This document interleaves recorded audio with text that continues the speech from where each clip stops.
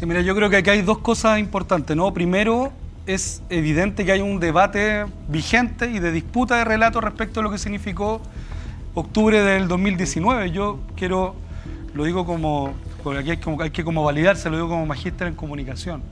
Revisen, revisen la prensa, revisen la prensa. Pero a mí, mira, esto lo, yo tengo, hay debate incluso en la izquierda respecto de qué significó el 2019, pero yo voy a citar a Desbordes, y Desbordes es el primero que señala que en realidad el gobierno de Piñera estuvo en crisis no con la marcha del millón de personas, estuvo en crisis cuando el Comité Sindical de Unidad Social convocó al primer paro productivo después de 1983 y el, y el propio Desborde dice que ese día 3 millones de personas no fueron a trabajar. Yo le pregunto, ¿usted que no fue a trabajar ese día? ¿Es octubrista? ¿Saqueó la fuente alemana? ¿Quemó autos? Evidentemente que no, porque la crisis del 2019 está además, en mi opinión, plenamente vigente en materia de sus objetivos. Pero mira, sobre Carabinero, yo le he pedido a la producción permanentemente que no me invite cuando viene Crespo, porque yo no voy a ser parte de ninguna, de ninguna limpieza de imagen respecto de Crespo. Y el día que me inviten, me voy a parar en buena onda y me voy a ir. Porque me parece que el, se utiliza, mediáticamente se utiliza Crespo, se utiliza Zamora para establecer un relato desde la derecha donde no es que evadan la responsabilidad de Carabineros, su propia responsabilidad política. ¿Sabe cuál es el problema de aquello que utilizan a Carabineros, a una institución que debiese ser de todos los chilenos, que después todos los ex generales o la mayoría termina o trabajando en municipios de derecha o siendo candidatos para la, para la derecha y lo utilizan para sus intereses políticos, para sus intereses de clase. Para eso utilizan a carabineros. ¿Cómo eso de clase? De clase. No, ¿sabes lo que pasa? Gonzalo, ¿se puede contestar a señor Eric? No, no, lo, lo, que pasa, Eric, yo creo que tú tenés que... Te tiro talla, te enojáis. No. Te hablo en serio, te enojáis. Dime tú cómo hay que hablar. No, tienes que bajar tres cambios. Primero, te quiero decir que la gente no podía trabajar porque tus amigues se cargaron 70 estaciones de metro no, y dejaron. si el 12 déjame de terminar. no. Déjame terminar. Querido panelista, el 12, el 12 Escúcheme, de noviembre no, hombre. Escúcheme. Hubo- se si el metro. una se- huelga. Bueno. Ya, ya, que No podía ir la gente a trabajar, iba caminando. Dejaron a dos millones y medio de gente sin transporte público, tu héroes sociales. No paró el metro, hombre. Escúchame. Están mintiendo. Lo quemaron. 12 de No, el noviembre. 12 de noviembre no. El 12 hablar de o no? noviembre ¿Puedo hablar fue o el día no? ¿Puedo hablar o Que termine no? Que termine Porque contigo, tiene memoria frágil nuestro amigo Eric. El metro se, se quemó el 18 y el 19 de octubre. Y estuvo, y estuvo un año y fracción, todo un año y fracción inutilizado. La línea 4, la línea 4A, la línea que va a Maipú, que es la extensión de la línea 5, dos millones y medio de personas se cargaron tuberos sociales. Más 12 mil. Espera, déjame terminar. Déjame terminar. ¿Quién tenía cargo de las cámaras? Déjame terminar.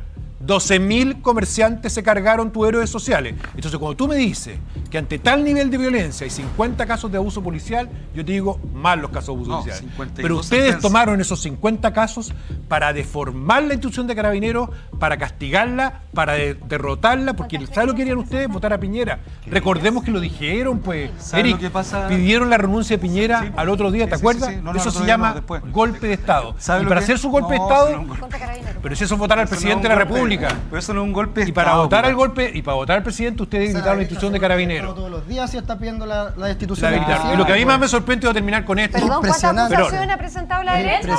Que termine Y Poduje, para, y para- muchachos. y para comprobar mi punto de que estos señores tenían una intencionalidad política, es que hoy día, después de Villa Francia, yo no veo al Partido Comunista renunciando en masa, después de todas las acusaciones, después de los disparos que hacen carabineros, después de los lumazos que han pegado a los delincuentes del liceo de aplicación o de la plaza Baquedano, ¿sabe qué? No se ha ido uno solo. ¿Sabe por qué? Porque están cobrando, porque están en el La poder, derecha, sí, pues, porque si están en el poder, en la izquierda. Ah. Y lo que usted dijo No, de la, de la cuestión de de clase derecha, ¿no? es una injusticia.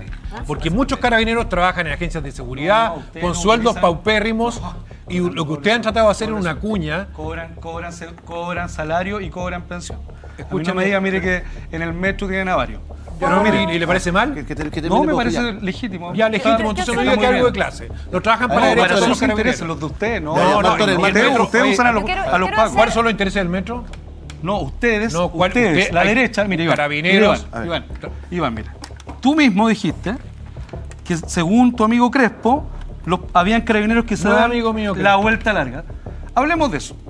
Hay carabineros No, pero es que no, hay carabineros que corren, que corren en dos segundos para reprimir a las chiquillas del Liceo 1. Hay carabineros que corren cuando se trata de una huelga de los trabajadores de la salud como la semana pasada.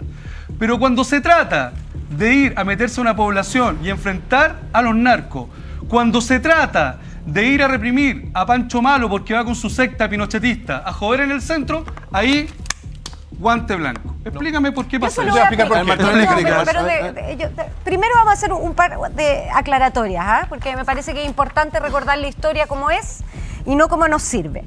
Efectivamente, el 25 de octubre hubo un millón de personas y fue una marcha pacífica.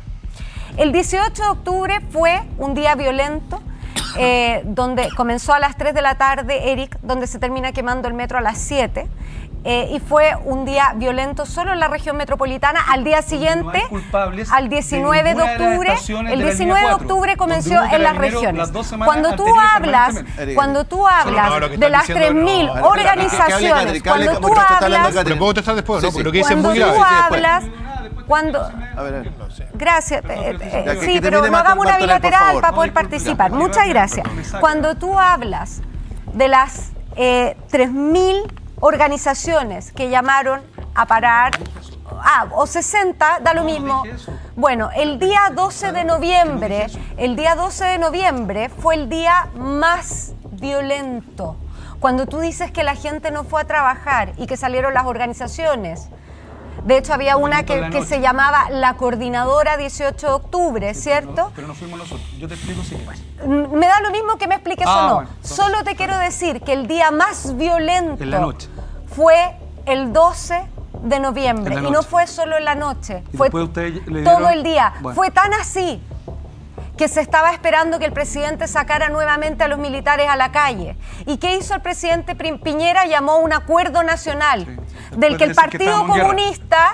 No, eso fue antes. Por eso, Despu- después de del decir que estuvimos en guerra, salió por el otro camino. Después de, escúchame, de- acuerdo en el que el Partido Comunista no quiso participar.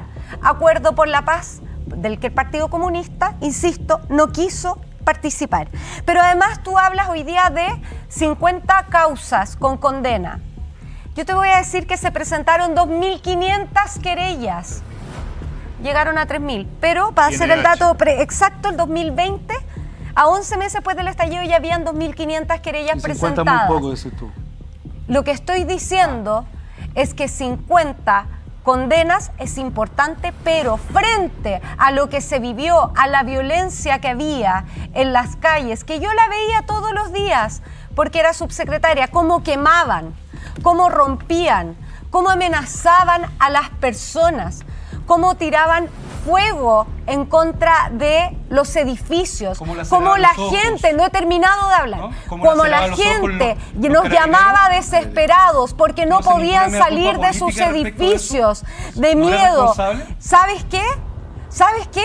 Tú dices y dijiste literal, aquí se ha mantenido en el fondo vigente, completamente vigente lo que pasó el causas del 2019. 2019. Ya, tu gobierno, tu gobierno no ha hecho nada por esas causas. Tus causas están mucho hicieron? peor. ¿Y ustedes Tu delincuencia Sí, empeoró. ¿la desigualdad? Tu, tu ¿Cuánto subiste el desigualdad empeoró. Tu ¿Cuánto subiste el desigualdad empeoró. Él hizo una acusación muy grave. pero, ¿Subiste el Eric- salario Gonzalo, cuando fuiste él hizo una acusación muy grave. ¿Cuánto Eric, subiste el salario estás mínimo? Y no es primera vez que. Cuando A ver, ¿cuánto quisieron destituir al presidente de la República, cuando quisieron hacer un golpe de Estado, cuando llamaron dos veces a una acusación constitucional en contra del presidente Piñera, aún cuando hicieron todo eso y hoy día, gracias a eso, son gobierno, quiero darte una mala noticia. Estamos mucho peor. Quiero decirle Produje, a a Eric, Eric, tú estabas diciendo, no es primera vez que lo dices, que no hay culpables y que quién quemó la línea 4A. ¿Tú tienes No, no, sorpresa? la línea 4. La línea 4. ¿Tú tienes sorpresa que fue Carabinero? No, Ya. No, yo te estoy diciendo. No, pero te pregunto. No, no, te estoy que fueron infiltrados porque hay una te- señorita que escribió un libro No, no, no, demente, no, no, si yo trabajo en el metro. Ya. Yo trabajo en el Tú metro, sabes mira. que no fueron carabineros. Pero mira, yo trabajo Espérate, en el metro. pregunta. ¿Tú sabes que no fueron carabineros? Yo, sé que no hay culpables sobre las quemas de línea te 4. estoy preguntando. No, Tú yo sabes sé que no fueron hay carabineros. culpable- yo sé que no hay ningún culpable, ninguna sentencia, ningún responsable por la quema de los Quillayes, San José de la Estrella y Elisa Correa. Porque hay- Eso te ya, estoy diciendo. Esas tres estaciones efectivamente hubo ataques. Tú sabes que para que ocurra lo que tú dices, que hubo infiltrados, supongamos de Oye, dicho policía, no, es que está diciendo Bueno. cosas que no he dicho. para, Están mintiendo. vamos a decir, para lo que dicen algunos, que Ah, instalan bueno, la sospecha algunos. de que Algunos. carabineros quemaron el metro, se implica la complicidad de trabajadores de metro, de cámaras de metro, o sea, de todo el cuerpo de Sí, metro. pero ojo con lo que estás diciendo, porque, No, yo porque no estoy tú- diciendo eso. Ya. Entonces no lo, que no lo insinúen más. no porque- estoy insinuando eso. Porque estás insinuando. Yo te puedo decir lo que estoy diciendo si tú quieres, pero bueno. Insinúa, bien. dilo directo. Ah, dígale, No, ¿qué- qué- yo, estoy diciendo, yo estoy diciendo lo siguiente. En el, metro de Santiago, y lo puede, no sé si Martorell, usted era subsecretaria de eh, Prevención del en ese delito.